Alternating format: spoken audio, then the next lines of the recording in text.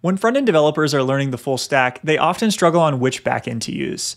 If they've heard of Redis, they probably have heard of it because of in memory caching. I know that that's the only reason that I had heard of it for, but after doing a little bit more investigation research, I found out that you could actually use Redis for your entire data store hash maps, counters, sorted list, queues, all sorts of things that I had no idea you could even do with Redis. I had only heard of it in the context of caching. So in this video, we're going to do a little more investigation into using Redis with Next.js. I'm going to show a demo application and show how you can deploy Redis serverless. Before we dive in, I want to give a quick demo of the application we'll be looking at today and explain some of the functionality. So if you go to roadmap-redis.vercel.app, this is an example of what we'll be looking at today.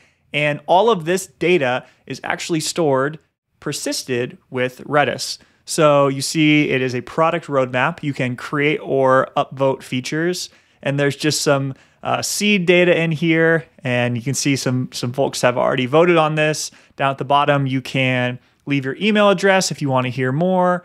And at the top, you can submit new features. Now, for this demo, this is disabled, but in the actual code base, you're able to add features and add to this for your own project. The great thing about this is that the entire project can be deployed on a free tier for the front end, Next.js on Vercel, and the Redis instance on Upstash. First, I want to talk about how we're deploying Redis. Upstash is by far the easiest way I've found to deploy and manage Redis instance, and they have a pretty generous free tier, which makes it easy to get up and running. Plus, when you're ready to actually start paying money, they have per request pricing with the serverless model to keep those costs low. And they even have maximum caps too, so there's no surprise billing. The cool thing about Upstash is it allows you to use Redis for durable storage. So we can actually persist this data over time. And it's fast. In my testing, I've noticed really low latency and it was a breeze to get started. Plus, I get this nice console that has some monitoring on my Redis instance. And there's also a GraphQL API that I can use on top of that, which is pretty cool.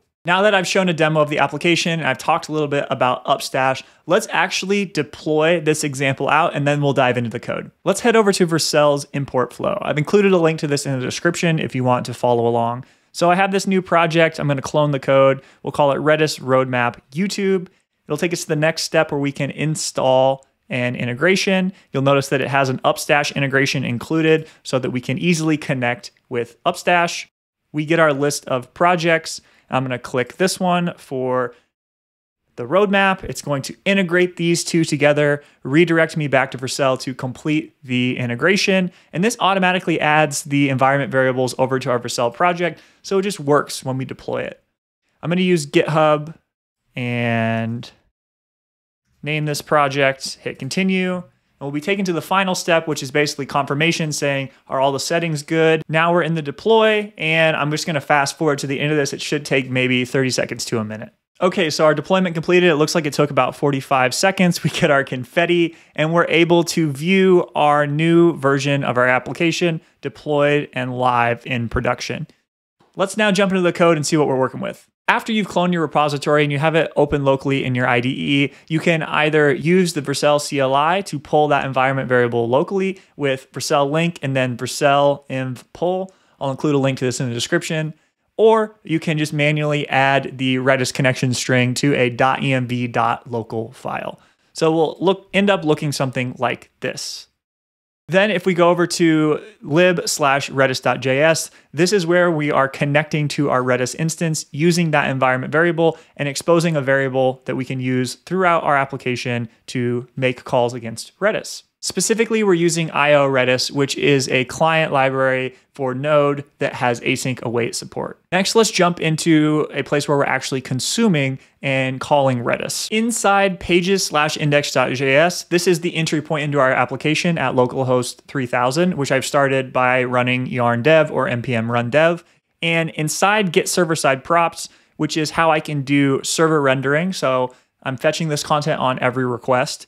I'm able to import Redis and fetch all of the different features, is what I'm calling the key in this instance.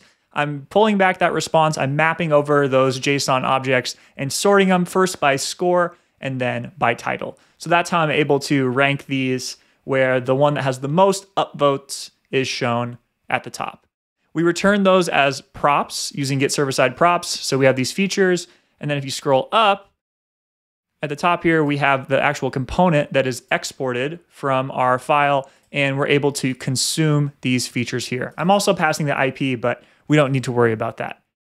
Then you'll notice that we're actually seeding the SWR cache with this data. And really what that means is we're fetching all of these features once on the server side when you initially load the page, and then we're using this handy library called SWR, which allows us to make updates on the client side. So we seed the initial cache, and then when you refocus or revalidate on the page, or when you set a interval that you want to refetch this information, it allows you to give the real-time update feel to your application. Basically, if somebody else upvotes your items, you want to see that in real time. Next, let's talk about how we actually create features. So if we look at our code, if we look in pages slash index again, you'll notice that we have a form, an input, and a button. And in the demo, this is disabled, obviously, but in the code, you're able to basically type into this input, click a button to submit this form, and it's going to call this add feature function.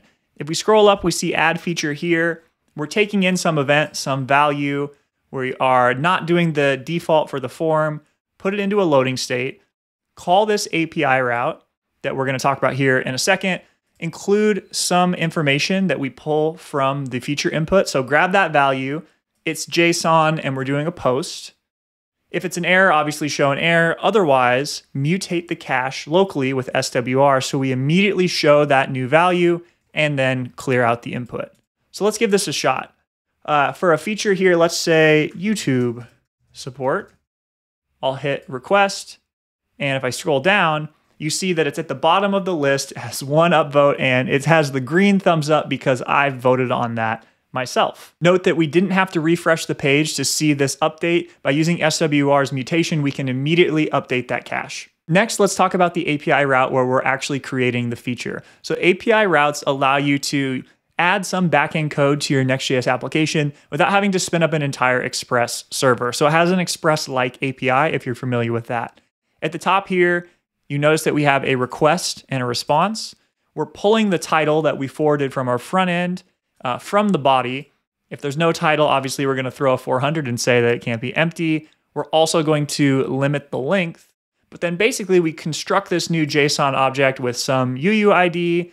We're going to forward the title, a date, the initial score or the initial ranking, and then an IP address, which we're using to dedupe people voting essentially. Assuming that that's all good, we make an API call to Redis, we await that, and based on this key of features, we are going to add an ID and some JSON object. We'll return a success back to our client on the front end. Going back to pages slash index.js, it's a similar idea for the email input. So people want to subscribe and understand when new features are released. And again, we have a form with an input and a button. It talks to some subscribe function, calls an API route that's forwarding some information. And the cool difference here is I have this toast down at the bottom, and I'll just throw a test in here. I'll hit OK. And we get this little toast that says, hey, you're now subscribed to feature updates. Another nice thing to mention here is we get to use HTML validation on forms so that we don't have to do any JavaScript checks to make sure that they accurately filled out the information. So if I click OK, Notice that I'm getting this, please fill out this field because we have the required prop on our input element. So use HTML when you can. It's really nice. Same with autocomplete of email, type of email, and a max length too. So if I put a ton of things inside here, it's capping it at 60 characters. This is really just scratching the surface of what you can do with Redis. There's so much more that we can dive into, but hopefully this has served as a good introduction to using Next.js with Redis, deploying it serverlessly, and doing it all while on the free tier. If you liked this video and you want to see more content on Redis, leave a comment or give a thumbs up, and I'll try to add some advanced content as well. As a reminder, links for everything shown in this video will be in the description. If you have any questions, definitely let me know. Thanks so much for watching.